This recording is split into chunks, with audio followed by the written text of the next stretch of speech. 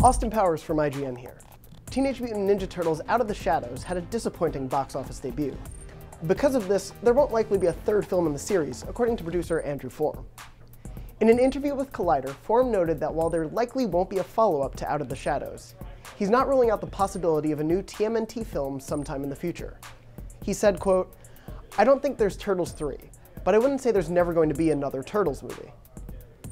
Out of the Shadows made $35.3 million during its opening weekend in June, which was just over half of its predecessor's $65.6 million debut back in 2014. Its domestic total was just $82 million, compared to its production budget of $135 million. With regard to the film's underwhelming performance in theaters, Form said they were obviously surprised at the box office results, and felt so good about the material, and for some reason, it did not find the audience that the first movie found. He said they discussed the film, quote, all the time, and tried to figure out why it wasn't a success, but ultimately, quote, cannot put their finger on what happened.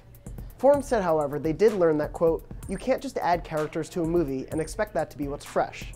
Noting that with the sequel, quote, you have to give the audience something that's really new and fresh. Maybe just adding characters from the canon, that wasn't enough. For all your movie news, stay tuned to IGN.